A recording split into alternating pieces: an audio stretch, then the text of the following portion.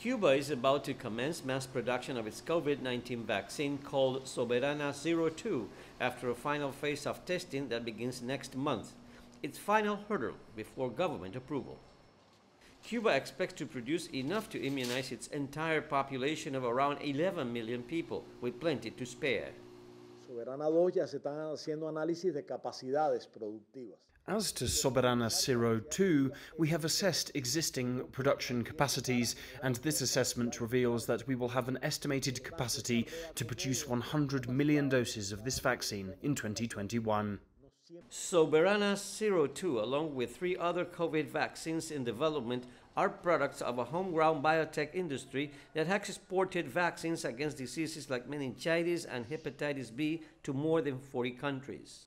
For Cubans, the locally developed vaccine projects translate into the hope to finally get rid of the coronavirus disease as they feel proud of the island's scientific community. Un esfuerzo súper grandioso.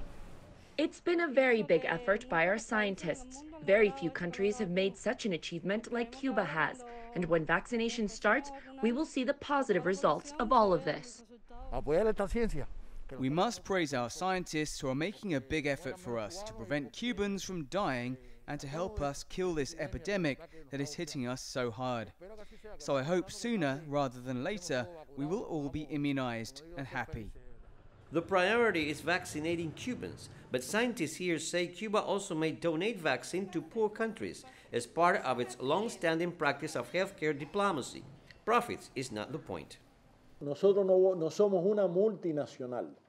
We are not a multinational where return on investment is the number one priority and providing health comes second. We operate the other way round. We first create health and revenues are a consequence of that, never a priority. Next month's Phase 3 trials will involve more than 42,000 people. If successful, Cuba says it could deliver its first million doses of its COVID 19 vaccine in late April. Luis Chirino, CGTN, Havana.